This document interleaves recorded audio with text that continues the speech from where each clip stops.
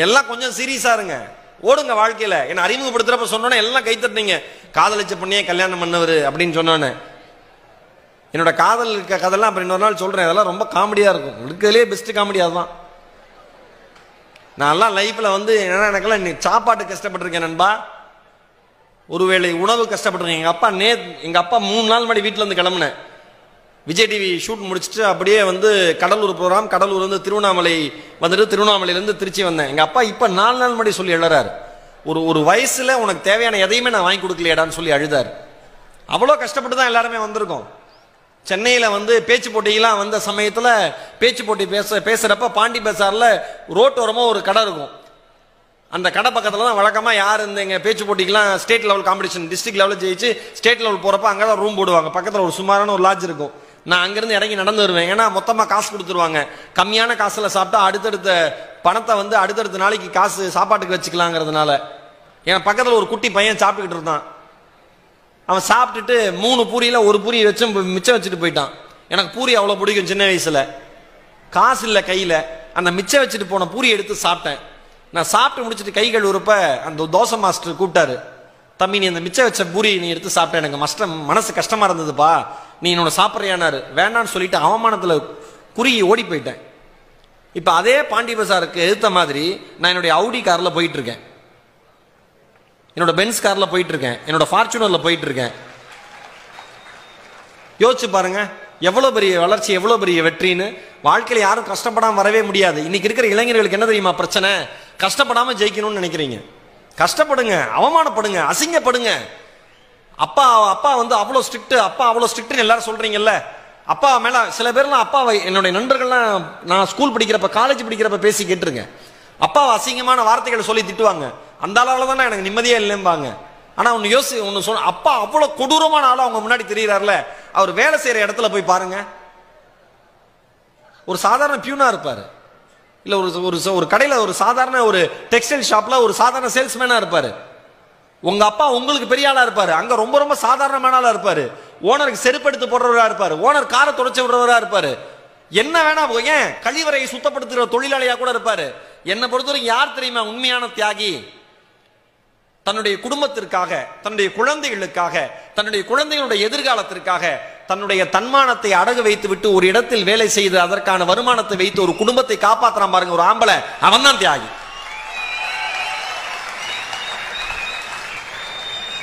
நம்ம யாருக்குமே அது தெரியறதில்ல. ரொம்ப ஈஸியா ஒன்றும் நீங்க படிச்சு முடிச்சு வேலைக்கு போய் முதல் மாச சம்பளம் வாங்குற வரைக்கும் எல்லாமே உங்க அம்மா அப்பா போட்ட பிச்சை.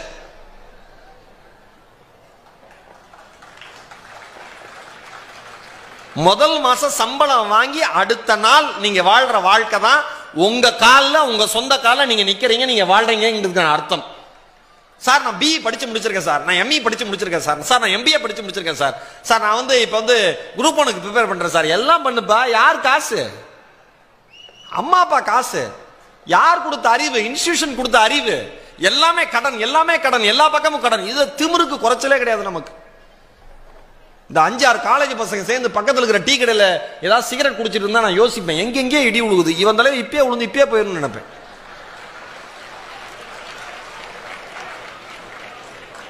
இன்னைக்கு பெருமையா போச்சு. இன்னைக்கு இருக்கிற ஜென்ரேஷனுக்கு குடிக்கிறேன் தம் அடிக்கிறேன்னு சொன்னா அதெல்லாம் பெருமை. மச்சான் இந்த பாட்டியில் போண்டா? குடிச்சண்டா தம் அடிச்சண்டா அப்படின்னா பெருமை. என்ன பெருமை? அடிச்சு தோலை உரிக்கணும் எல்லாரையும். ஒன்று சொல்லவா? ஒரே ஒரு விஷயம் சொல்றேன். மனசாட்சி இருந்தா நீங்க யோசிச்சு பாருங்க. நீங்க இன்னைக்கு கிராஜுவேஷன் எல்லாம் முடிஞ்சிருந்தீங்க ஒரு நாள் நீங்க தூங்கி எந்திரிச்சு நீங்க அம்மா அப்பா தூங்கிட்டு இருக்கிறப்ப நீங்க எந்திரிச்சு போய் நடு இரவுல நடு நிசையில போய் அந்த தாயுடைய முகத்தையும் தந்தையோட முகத்தையும் ஒரே ஒரு நிமிஷம் பாருங்க. உங்களோட அம்மா அப்பா முகத்தை. ஒரே ஒரு நிமிஷம் பாருங்க. வாழ்க்கையில மொத்தத்தையும் வாழ்க்கை மொத்தத்தையும் உங்களுக்கு கொடுத்துட்டு எப்படியாவது என் பையன் முன்னேறிடுவான்.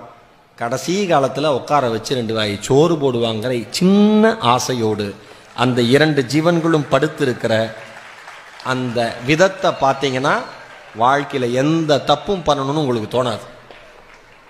எனக்கெல்லாம் வெறி நண்பா வெறி. எங்கள் அம்மா காது கேட்காது. உலகம் முழுக்க ஈரோடு மகேஷோட பேச்சை கேட்டு சிரிக்கிறாங்க. ஈரோடு மகேஷ் பேசுனா கை தட்டுறாங்க. ஈரோடு மகேஷனுடைய தமிழ் உச்சரிப்பு அவ்வளோ அழகா இருக்கும். அவர் பேசுற தமிழ் கேட்கவே இனிமையா இருக்கும். அவ்வளோ செய்யுள் தெரியும். அவ்வளோ இது தெரியும். எல்லாருமே எல்லாம் சொல்லுவாங்க. உலகம் முழுக்க வருஷத்துக்கு நாற்பது உலக நாடுகளுக்கு பயணம் போறேன். டிவி இண்டஸ்ட்ரியில அதிகமா ஜிஎஸ்டி கட்டுற ஒரே ஆள் நான் தான். பெருமையா திமுறா சொல்லுவேன். தமிழ் படிச்சுட்டு. இன்கம் டாக்ஸ் நோட்டீஸே வந்துடும் வீட்டுக்கு. அங்கே போய் பார்த்தா அங்கேயும் நம்ம ரசிகர்கள் தான். என்னப்பா சார்? அப்படின்ட்டு அங்கே ஒரு அரை மணி நேரம் பேசிட்டு கட்டிடுறேன் சார்ன்ட்டு வருவேன். அம்மா காது கேட்காது. சொந்தக்காரங்களாம் அவ்வளோ கிண்டல் பண்ணுவாங்க. இந்த குடும்பம்லாம் அவ்வளோ சிறப்பாக வராது அது இதுன்னு சொல்லிட்டு. அப்பா அதோட அர்த்தம்லாம் எனக்கு புரியல. வளர வளர அவர்கள் பேசின வார்த்தைகளுடைய வீரியும் வலியும் எனக்கும் இன்னும் அந்த மனசில் இருக்குது எங்கள் அம்மா எதை பற்றியும் கவலைப்பட்டதில்லை. என்னை வந்து விகடனில் கேட்டாங்க ஆனந்த விகடன் பத்திரிகையில் யார் உங்களுடைய ரோல் மாடல்னு கேட்டப்ப நான் அம்மான்னு சொன்னேன். ஏன் அப்படின்னா தன் குழந்தைக்கு தனக்கு காது கேட்காதுங்கிற குறை தெரியக்கூடாதுங்கிறதுக்காக தெரியக்கூடாதுங்கிறதுக்காகவே எனக்கு நினைவு தெரிஞ்சு ரொம்ப வருஷம் கழிச்சு தான் அம்மாவுக்கு காது கேட்காதுங்கிறது எனக்கு தெரியும். அவ்வளோ ஸ்மார்ட்டாக பிஹேவ் பண்ணுவாங்க. நானும் ரவுடி தான் படத்தில் நயன்தாரா மேடம் லிப் ரீடிங் பண்ணி கண்டு பேசுவாங்கல்ல எங்கள் அம்மா ஆயிரம் நயன்தாரா.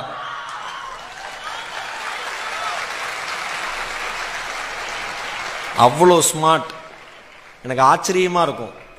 உலகத்தினுடைய எந்த ஒளியும் என் தாயினுடைய காதுகளுக்குள் சென்றதாய் வரலாறு இல்லை. சகோதரர்களே சகோதரிகளே ஆனால் அவர் வளர்த்த பிள்ளை ஈரோடு மகேஷனுடைய ஒளி இந்த உலகம் முழுவதும் கேட்டுக்கொண்டிருக்கிறது என்பது ஒரு தாயினுடைய தைரியத்திற்கு கிடைத்த பாராட்டு. அம்மா சொல்லுவாங்க யார் யாரெல்லாம் அவமானப்படுத்தினாங்களோ அவங்க முன்னாடி கம்பீரமாக நிற்கணும்டா அடுத்தவருடைய எங்கள் அம்மா அவன் வேறு லெவல் இன்றைக்கும் படித்து ஏதாவது ஒரு நல்ல பாயிண்ட் இருந்ததுன்னா கிழிச்சு வச்சுருவாங்க சார். நான் எப்போ அம்மா ஈரோட்டில் இப்போ சென்னை வந்துட்டாங்க. ஈரோட்டில் இருக்கிறப்பெல்லாம் நான் போகிறப்ப ஒரு பைண்டிங் பண்ணி எங்கள் அப்பா கொடுப்பார். பைண்ட் பண்ணி அப்படியே. இந்தடா இதெல்லாம் ஸ்டேஜுக்கு யூஸ் பண்ணிக்கோ அம்மா எடுத்து வச்ச பாயிண்ட்ஸ் அப்படின்னு சொல்லிட்டு. எங்கள் அம்மா சொல்லுவாங்க அடுத்தவர்கள் உங்கள் மீது செய்கிற விமர்சனத்தை பற்றி கவலையப்படாதீங்க யார் என்ன விமர்சனம் பண்ணாலும் கவலைப்படாதீங்க. எங்கள் அம்மா சொல்லுவாங்க நடந்து போகிற காக்கா சட்டையில் எச்சம் போயிருச்சு. என்னடா பண்ணுவேன்னு கேட்பாங்க. அம்மா அதை தொடச்சிட்டு நல்லா அதை அது கரையெல்லாம் போகிற மாதிரி கழுவிட்டு நான் அப்படியே என்னோட எந்த இடத்துக்கு போகிறேனோ அந்த இடத்துக்கு போயிடுவோமா அடுத்தவர்கள் பண்ணுற விஷய விமர்சனமும் அந்த மாதிரி தான் காக்கா எச்சம் மாதிரி. அதை கழுவி தொடச்சிட்டு போயிட்டே இருக்கணும். அதுக்காக சட்டையும் மாற்றக்கூடாது சங்கடமும் படக்கூடாதும்பாங்க. வெறியோடு வாங்க. சார் நாம நாம ஜெயிச்சு வந்தோங்கிறதுக்கான பெருமையே வேற சார் இந்த உலகத்தில். இன்னைக்கு இன்ஜினியரிங்கான ஃபியூச்சருங்கிறது மிக பெருசு சேர்மன் சார் சொன்னது உண்மை. வெளியில இன்ஜினியரிங் படித்தா வேலை கிடைக்காது. இன்ஜினியரிங் இன்ஜினியரிங் படித்தா வேலை கிடைக்காது. நான் சொன்ன மாதிரி இன்ஜினியர் ஆனால் தான் வேலை கிடைக்கும். பயங்கர பயங்கர ஃபோக்கஸ்டாக இருங்க. இந்த உலகத்தை மாற்றக்கூடிய சக்தி நம் கைகளில் இருக்குதுன்னு இருங்க. எல்லாரும் ஏதாவது ஒரு சமயத்தில் ஏதாவது ஒரு நண்பன் இந்த இந்தியாவினுடைய பேரை கொண்டு போய் மேலே விட்டுற மாட்டானா அப்படிங்கிற எண்ணத்தோட தான் ஒவ்வொரு இந்தியனும் வாழ்ந்து கொண்டிருக்கிறார். நம்ம எல்லாருமே சோஷியல் மீடியாவில் பேசுகிறோம் நம்ம எல்லாருமே பெருசாக தனித்தனியாக பேசுகிறோம் ஆனால் செயல்னு வரப்ப யாரும் எதுவும் பண்ணுறதில்ல அதுதான் இந்த நாட்டினுடைய சாபக்கேடு. ஒண்ணுமே செய்யறது கிடையாது. பொள்ளாச்சி இஷ்யூ பத்தி அவ்வளவு கொதிச்சு அவன் ஆயிரம் வீடியோ ஓகே ஃபைனலா ரிசல்ட் என்ன? களத்தில் நின்று யார் பேசுனா? யாரும் கிடையாது. நீங்க உலகத்தினுடைய பாதை இதுதான். நீங்க புரிஞ்சுங்க நீங்க ஜெயிச்சா நீங்க நீங்க சார் ஒன்னு ஒரு விஷயம் சொல்றேன். உங்களுக்கு நாலு ஏழை குழந்தைங்களை படிக்க வைக்கணும்னு என்ன இருக்கு? ஏன்? நீங்க கஷ்டப்பட்டு படிச்சீங்க. அதுக்கு உங்ககிட்ட காசு இருக்கணும்ல? அதுக்கு படிக்கணும்ல? அதுக்கு சம்பாதிக்கணும்ல?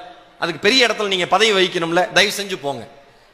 இந்த இந்த இந்த உலகத்தையே கட்டி ஆளுகிற சக்தி நம் கைகளுக்கு மட்டும்தான் இருக்கிறது என்று நம்புங்கள். நான் எது தெரியுமா பெரிய பெருமையா நினைப்பேன்? எனக்கு விஜய் நண்பர் அறிமுகப்படுத்துறப்ப சொன்னார்ல விஜய் டிவி- விஜய் டிவியினுடைய சிறந்த தொகுப்பாளர் விருது கிடைச்சது இன்னும் நிறைய விருதுகள் கிடைச்சது. அதெல்லாம் எனக்கு பெருமையே கிடையாது.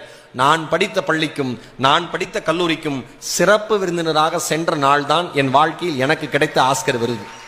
அது சேர்மேன் சார் சொன்னார் அடுத்த அஞ்சு வருஷமோ பத்து வருஷமோ நீங்களே இங்கே சீஃப் கெஸ்டாக வரணும் நாங்கள் பார்க்கணுன்னார் அதுதான் பெஸ்ட் சில பேர் படித்து முடிச்சுட்டு கேம்பஸ்குள்ளே வரதுக்கு சங்கடப்படுவான். அவ்வளோ நல்ல பேர் எடுத்திருப்பான். அரியர் எக்ஸாம் எழுதுறதுக்கு வாடா அதை பற்றி ஏதாவது டவுட்டு கேள்றான்னா அப்பாவை கூப்பிடுவான் அம்மாவை கூப்பிடுவான் அண்ணனை கூப்பிடுவான் அக்காவை கூப்பிடுவான் சித்தி சித்தப்பாவை கூப்பிடுவான். ஒரு அஞ்சு ஆறு பேரோட சொந்தக்காரன் கல்யாணத்துக்கு வர மாதிரி வருவான்.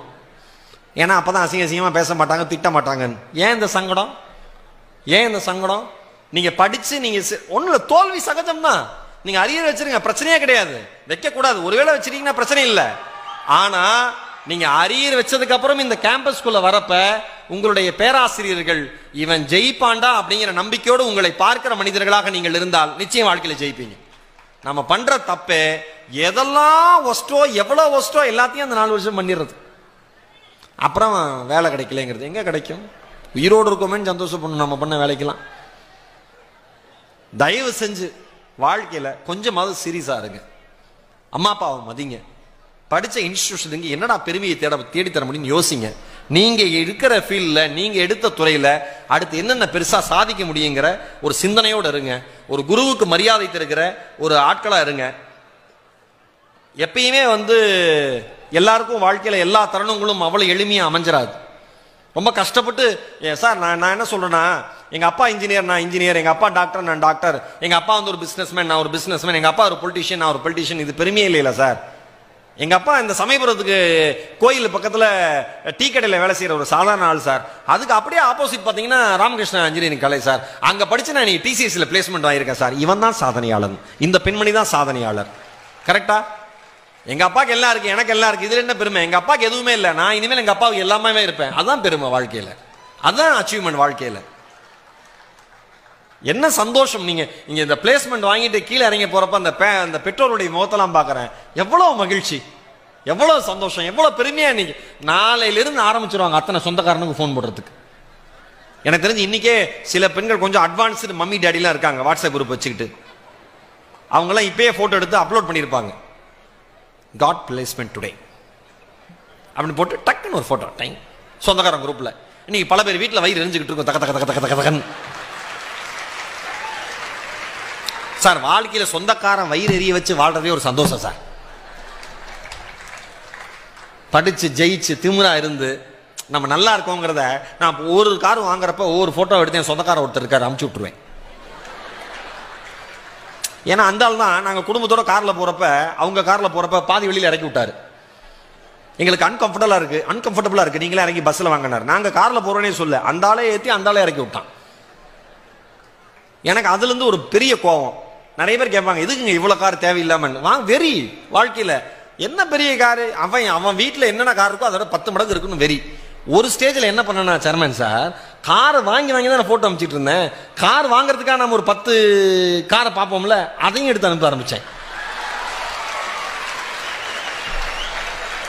அவன் உடனே என்ன போன மாசம் தானே வாங்கினேன்? பரவாயில்ல just my new toy time அவன் அப்படியே அங்கே தூங்கக்கூடாது. குடும்பத்தோட தக்க தக்க தக்கதான் எரியணும். நெருப்பில் கையை வச்சுக்கணும். சார் நான் என்ன சொல்கிறேன் சார்? நாம் வந்து அழுகிற பொழுது நம் கண்ணீரை துடைத்து விடுகிற கரங்கள் தான் நம் வாழ்க்கையில் நாம் நேசிக்கக்கூடிய கரங்கள். மறந்துடாதீங்க. நீங்கள் பெரிய ஆள் அந்தக்கப்புறம் லட்சம் பேர் வருவாங்க கோடி பேர் வருவாங்க. கஷ்டப்படுறப்ப இந்த நிறுவனம்னு ஒன்று ஆரம்பிக்கிறப்ப எத்தனை பேர் எத்தனை சொல்லியிருப்பாங்க? ஏங்க இன்ஜினியரிங் காலேஜ் ஆரம்பிக்கிறீங்க? இன்ஜினியரிங் காலேஜ் இல்லாததான் நீங்கள் பண்ண போறீங்க? புதுசாக என்ன போகிறீங்கன்னா எவ்வளோ விமர்சனங்கள் வந்திருக்கும். நம்ம கரூரில் வந்து நீங்கள் திருச்சி கேம்பஸ் ஆரம்பிக்கிறப்ப இன்றைக்கி வந்து இன்றைக்கி ராமகிருஷ்ணா காலேஜ் ஓகே பிளேஸ்மெண்ட்டில் வந்து கிட்டத்தட்ட ஒரு எயிட்டி பர்சன்ட் அவங்க அச்சீவ் பண்ணிடுவாங்க. அருமையான ரிசல்ட்டு பசங்க ஒழுக்கமாக படிச்சுட்டு வெளியில் வருவாங்கன்னு இவ்வளோ பெரிய பேர் எடுத்ததுக்கப்புறம் எல்லாரும் என்ன சொல்லுவாங்க? அதே பத்து வருஷத்துக்கு முன்னாடி சொன்னவங்கலாம் எனக்கு அப்பயே தெரியுங்க நீங்கள் காலேஜ் நல்லா பண்ணுவீங்கன்னு. டேய் பத்து வருஷம் முன்னாடி அப்படி சொன்னேன் அது வேற வாய் அப்படிமா இல்லட்டா விமர்சனங்கள் வந்துகிட்டே தான் இருக்கும். கவலையே படக்கூடாது. எவெல்லாம் நம்ம தோத்துருவோம் நினைச்சோமோ அவன் முன்னாடி ஜெயிக்கிறது மாதிரி ஒரு சந்தோஷம் வாழ்க்கையில வேற எதுவுமே கிடையாது. ஜெயிச்சு காமிக்கணும். மிகப்பெரிய லெவலில் ஜெயிச்சு காமி